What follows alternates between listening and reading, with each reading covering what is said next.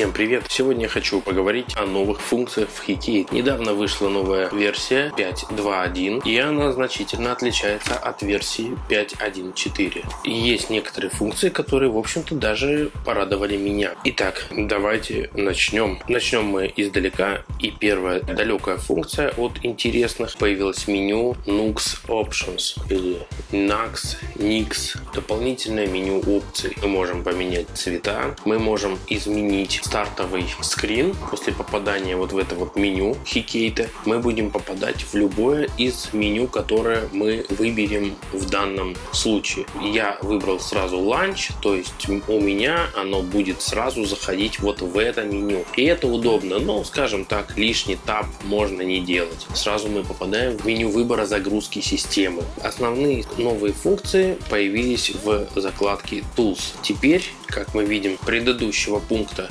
в прошлой версии вообще не было, то закладка Tools по сравнению с 1.4 сильно изменилась.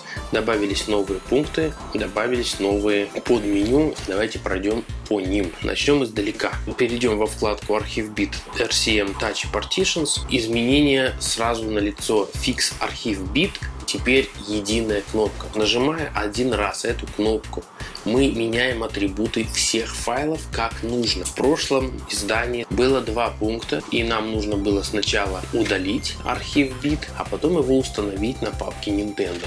Теперь этот пункт совмещенный, и нажатием одной кнопки мы делаем сразу все. Также появился пункт SD Partition. Мы можем управлять разделами на карте памяти. Он нам здесь все показывает, что есть, чего нет. Можно это изменить, настроить. Это интересно тем, кто использует несколько систем, Android, Linux. Но то, что это появилось и управлять разделами на карте памяти можно не вынимая флешку без компьютера, это, конечно, очень удобно. Появился пункт Calibrate Touchscreen, но это нужно тем, у кого проблемы с тачскрином в этом меню. Перейдем во вкладку eMMC, PKJ, USB Tools. И я не просто так начал с конца, потому что здесь вот самое, как по мне, очень интересное и вообще, возможно, одна из самых нужных функций появилась. Здесь появился пункт USB Tools. То есть, как вы видите, в прошлом хикейте этого просто пункта не было. Теперь он есть. И это вот действительно просто супер.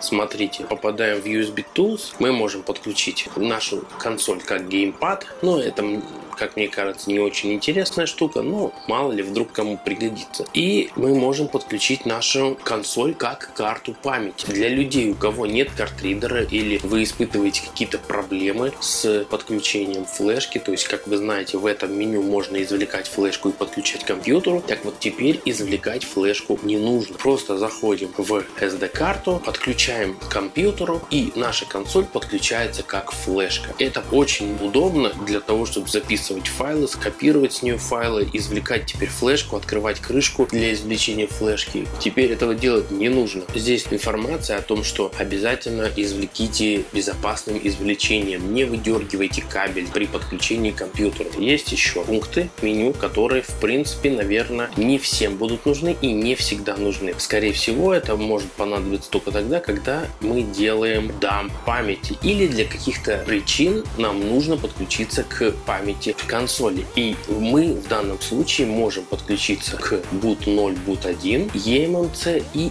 EMU MMC. Повторюсь, это нужно не для всех. И сразу тут идет ограничение read only. Данная память подключается только в режиме чтения. Это делается как защита от дурака, ну, чтобы не навредить. Вы можете это отключить, если вы знаете вообще для чего это делать. На этом все. Подписывайтесь, ставьте лайки, комментируйте. Всем пока!